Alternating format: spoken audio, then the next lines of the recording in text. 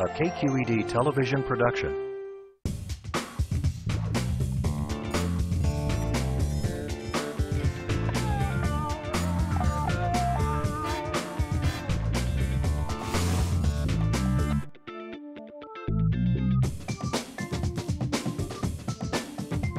And everybody say,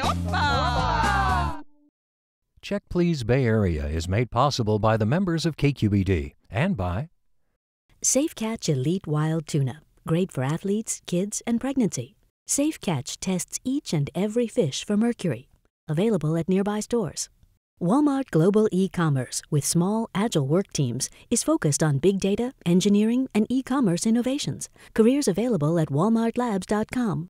Sutter Health CPMC, investing in community care for more than 150 years, including two new smart hospitals. Your city, your hospital. CPMC2020.org.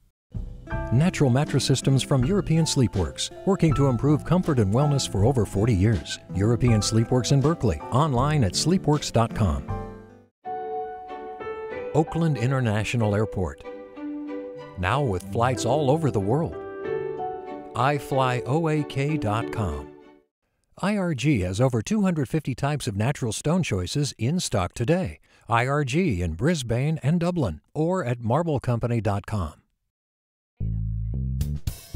Hi, I'm Leslie Sbrocco. Welcome to Check Please Bay Area, the show where regular Bay Area residents review and talk about their favorite restaurants. Now we have three guests and each one recommends one of their favorite spots and the other two go check them out to see what they think. This week, community volunteer Judy Goldman grew up in rural Maine, far, far away from the international flavors that now tickle her tongue. Nothing holds her back in her quest to broaden her taste repertoire. Doorman Robert Banks is known as Big Rob, the ambassador of Nob Hill. A native San Franciscan who knows the city like the back of his hand. He's ready with dining recommendations anytime. But first, improv consultant Dave Collins is a stand-up guy who loves beer and the alpine cooking at a casual neighborhood watering hole in San Francisco called Gasthaus Leopold's.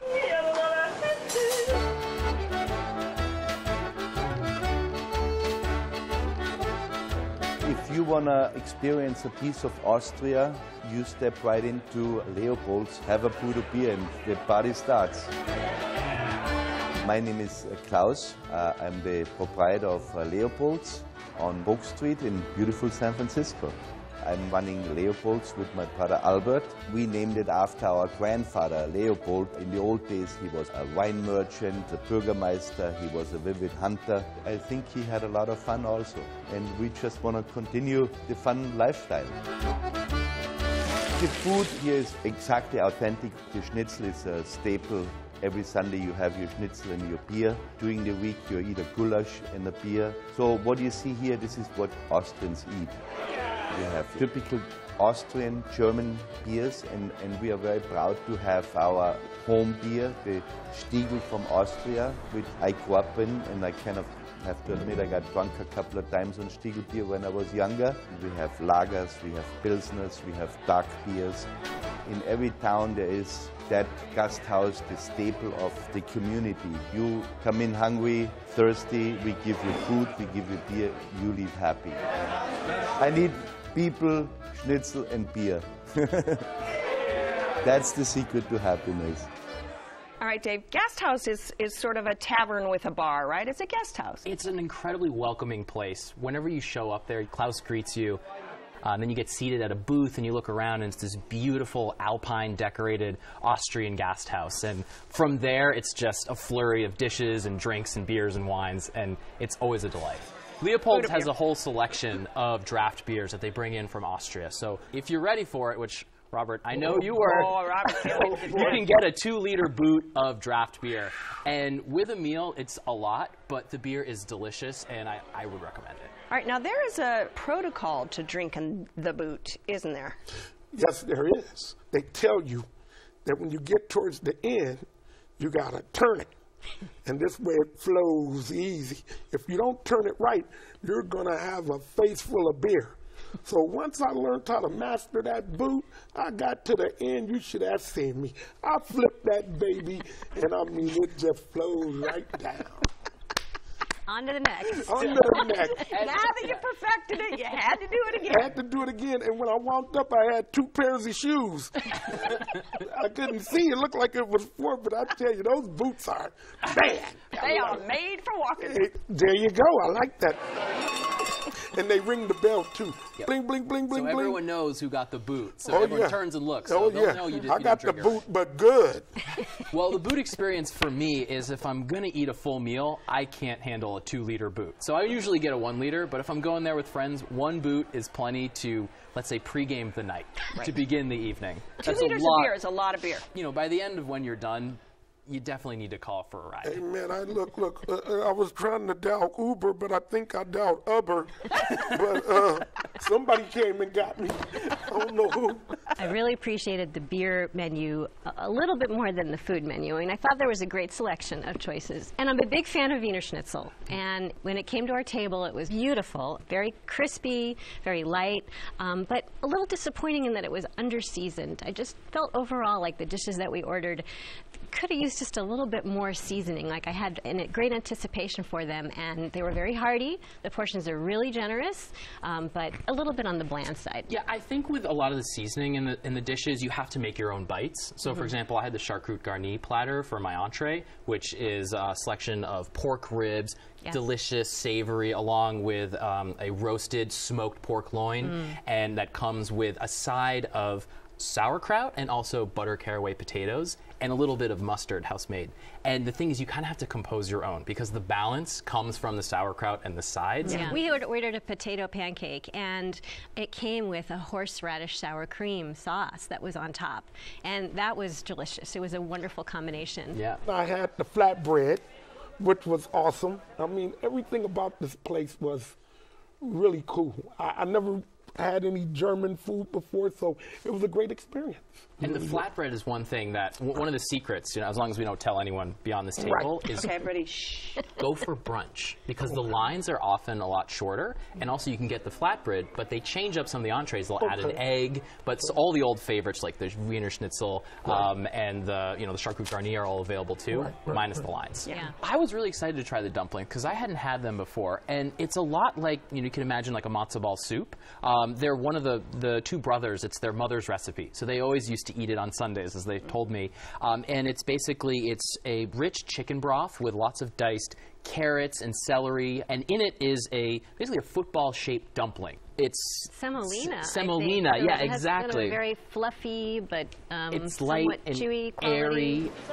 All right, what about the short ribs, Judy? My husband tried the short ribs. Um, again, we, we really love that type of dish. Yeah. It was tender, it was rich, um, a nice uh, meaty sauce. It, it lacked salt, and uh, it, it, was a little bit more chewy, I guess, than we had expected it to be. My dish also had like a little cucumber um, dill salad, which was very light and refreshing. So I agree, there's lots of accompaniments that kind of together put the dish. You have to construct your exciting. bite, according yes, you do. It yeah. takes some thought, which the boot might be counterproductive to. well, yeah, the boot makes it feel like you're getting the bite right, right. more often than not. Right. and what about the salumi platter? Yeah, so when I go with friends, I always like to start by sharing that. And it's a variety of smoked and cured meats. Um, there's a really delicious duck pate that's rich and fatty and you can spread it nice and easily on the bread. Yeah. Of course, it comes with the mustard, which adds that brightness.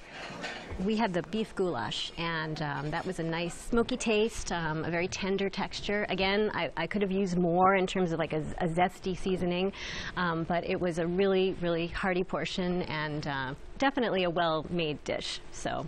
I, I, enjoyed it. I mean, I just had a good time at this place. I bet you created the good time. Well, I, I, brought I brought a little noise to the table, but uh, all in all, I mean, the strudel was great. Fresh apples and everything was baked to perfection. Yeah. Man, those Germans know how to party. And I thought it was curious that the female wait staff were dressed up and they had great costumes and great uniforms, but right. but our male uh, waiter, he had a flannel shirt and jeans on. So he needed later. So I think he needed to get into the spirit. And he needed well. later hose. Exactly. Right but very attentive, very friendly, really knowledgeable about the menu, really enthusiastic and welcoming. All right, this is your spot, Dave. Wrap it up for us. Uh, Leopold's is a fun neighborhood restaurant to bring friends and family to kick off the weekend. All right, and Judy? Uh, hearty portions, uh, great German beer and wine selection. Um, could use a little bit more seasoning in their dishes. And Robert. Like I said, wonderbar. that's, the, that's the word that I learned. Leopold's is a great restaurant, and uh, I would visit it again. All right, if you would like to try Gasthaus Leopold's, it's on Polk Street at Union in San Francisco. Telephone number is 415-474-2000. It's open every night for dinner with brunch on the weekends. Reservations are not accepted, and the average dinner tab per person without drinks is around $20.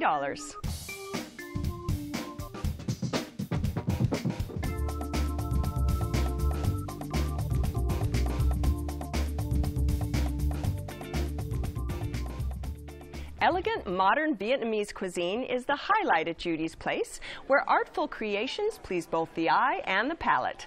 In Palo Alto, it's called Tamarine Restaurant and Gallery.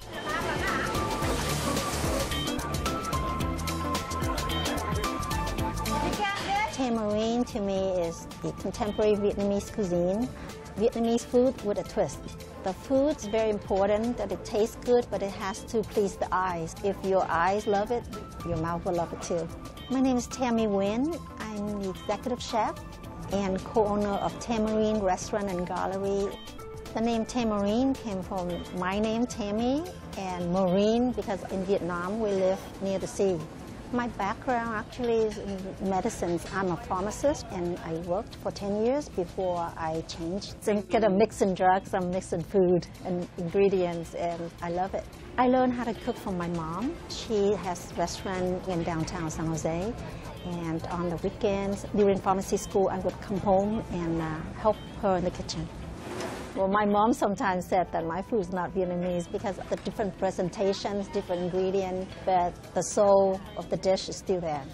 So the restaurant also functions as a gallery. We select all the well-known artists from Vietnam, bring the paintings to Tamarine. Every six months we would have an auction and the money raised go to the local charities here in the Palo Alto Bay Area.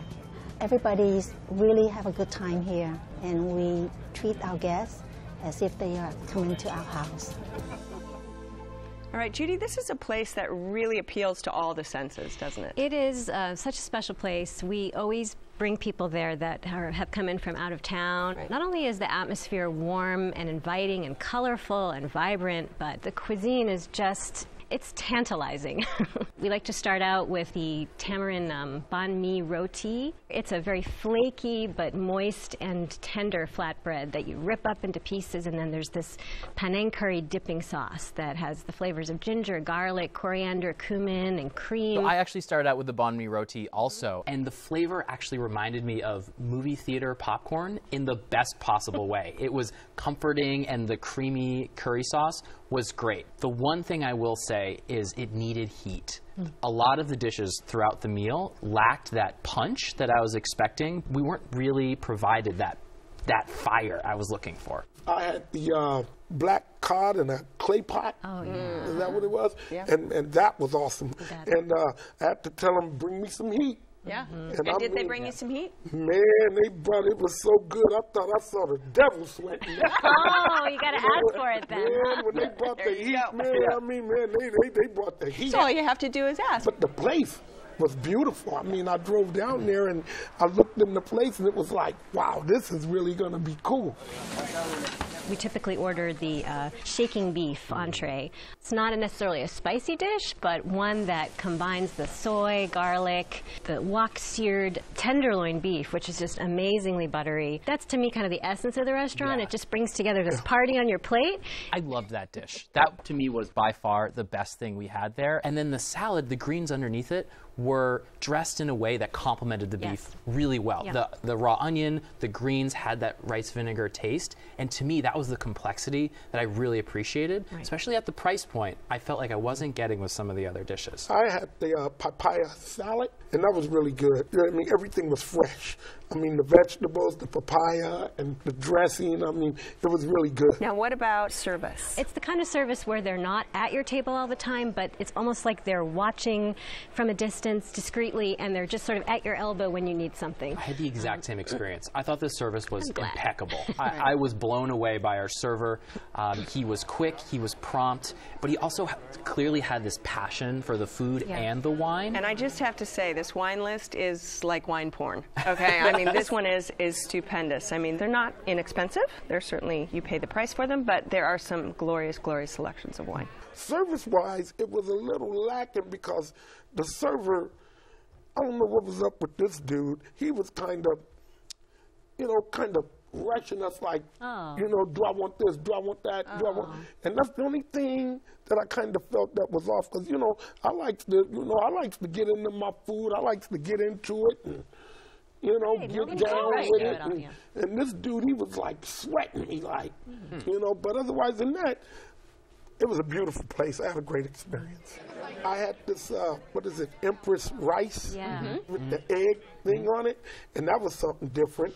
And you know me, Bring the heat. Bring the heat, baby. Bring the heat, baby. Making so the they, sweat. Look, look, look. So I'm putting the heat on the rice and I'm doing the egg thing. Mm -hmm. Now, what about the glass noodles? I really enjoy the glass noodles because i have never had glass noodles that had that rich umami flavor in the noodles. Yeah. It's always been around the noodles in a sauce exactly. around it. But the noodles themselves were cooked perfectly and none of them stuck together, which is another thing I noticed, like excellent technique and uh, heaping portions of crab alongside it. Mm. And to me, that was alongside the beef, uh, one of the highlights of the meal. I was just impressed. Right. It's hard for me to go off of my favorite choices, but we really wanted to try a variety to give the menu justice. And uh, the duck did not disappoint. It's a coriander seared skin. Very, very tender here, melt in your mouth kind of quality. And the coriander spice was definitely present. It was there. It was a nice seasoning. And it was tender and silky, and it was just a, a beautiful combination. And what about desserts?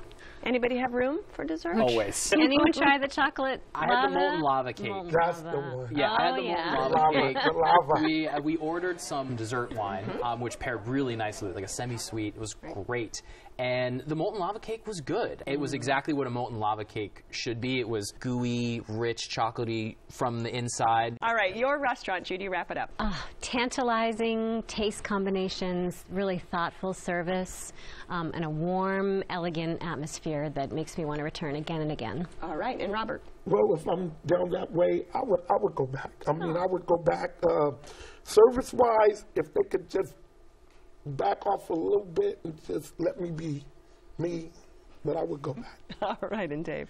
Uh, high-end Vietnamese serving super high-quality ingredients with impeccable service. All right, if you would like to try Tamarine Restaurant and Gallery, it's on University Avenue at Tasso Street in Palo Alto. The telephone number is 650-325-8500. It's open for lunch on weekdays and every night for dinner. Reservations are recommended, and the average dinner tab per person without drinks is around $50. When you've had too much of this, you've probably not been downing enough of this, and that equals a hangover headache.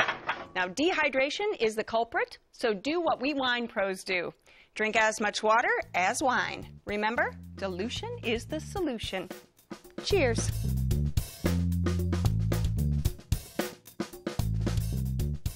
The cable car rumbles past Robert's Pick, a cozy and friendly gem located on Nob Hill, where seasonal ingredients create nigiri, sushi, and sashimi that shine. In San Francisco, it's called Sushi Rapture.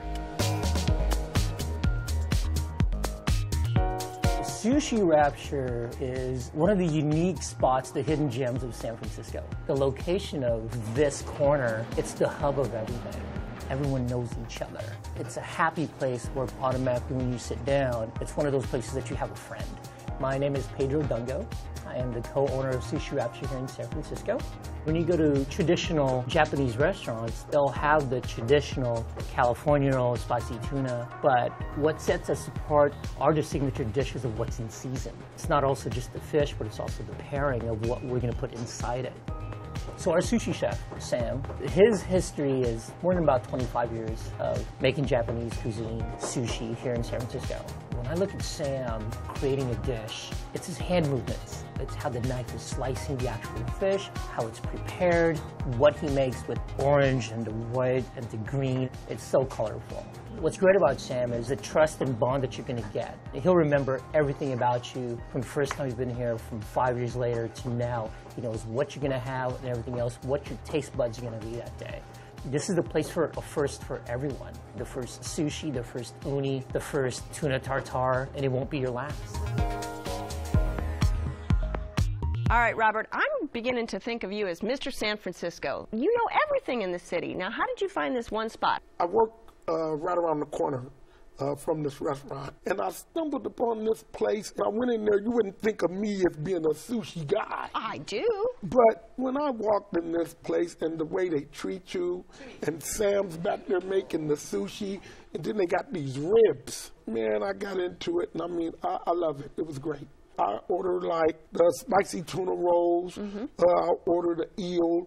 It's like Sam's back there. He's doing his magic. And if you want to, as far as this heat, he'll throw a little yeah. bit of that ghost pepper on there for you and really shake you up. And you won't know what hit you. Man, bam, thank you, ma'am.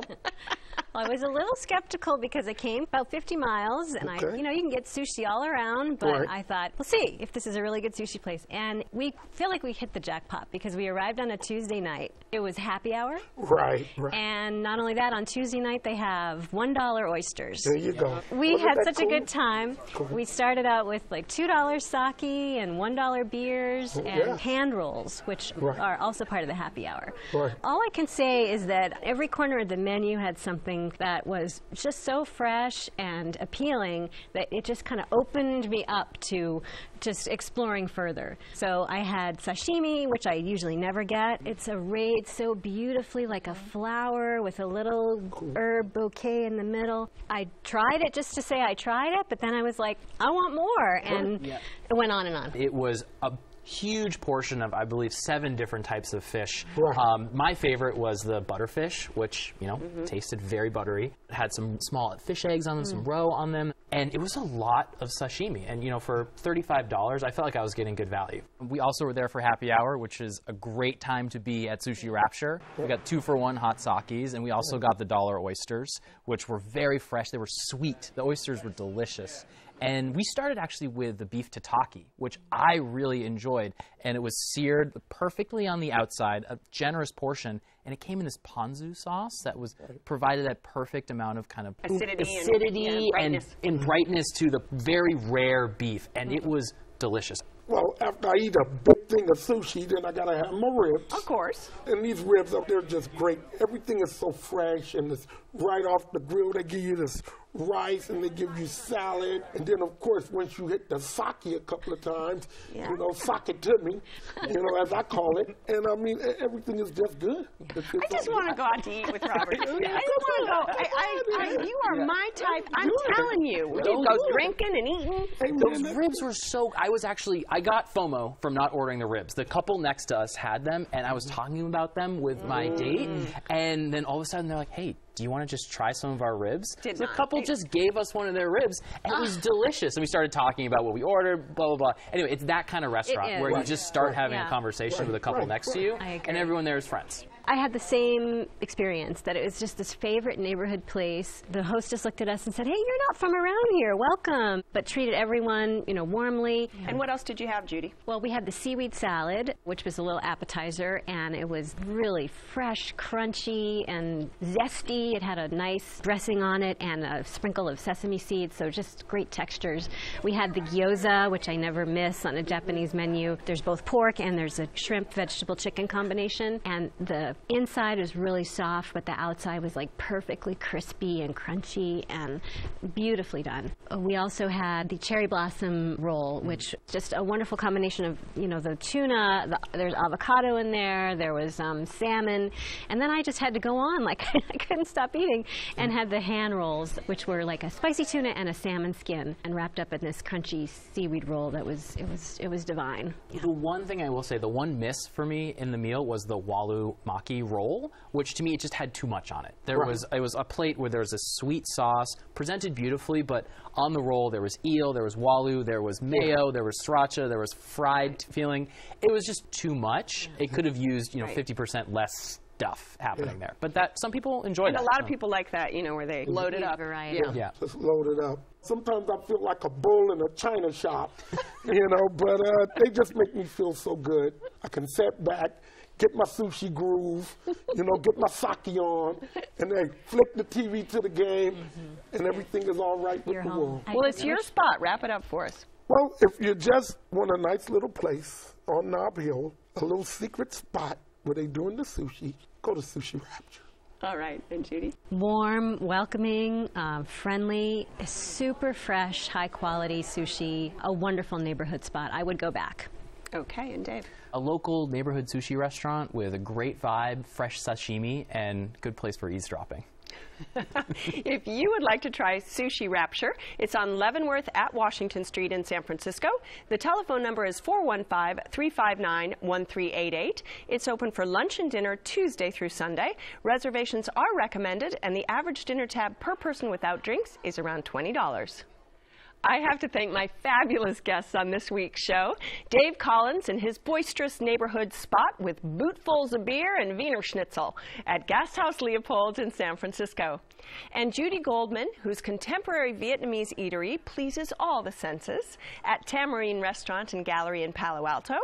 And Robert Banks, who waxes euphoric and poetic and everything over the extensive menu and attentive service at Sushi Rapture in San Francisco.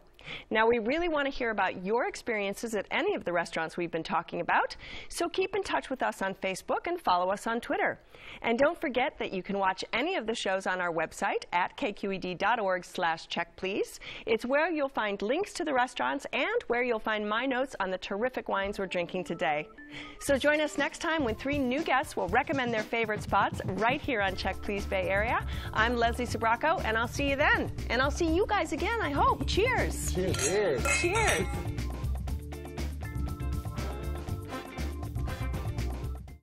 Check Please Bay Area is made possible by the members of KQED and by IRG has over 250 natural stone choices and over 10,000 stone slabs in stock today. IRG in Brisbane and Dublin or at marblecompany.com. Oakland International Airport. Now with flights all over the world iflyoak.com. Natural mattress systems from European Sleepworks, working to improve comfort and wellness for over 40 years. European Sleepworks in Berkeley, online at sleepworks.com. Sutter Health CPMC, 7,000 employees, nurses, and physicians caring for their communities every day. Your city, your hospital. CPMC2020.org.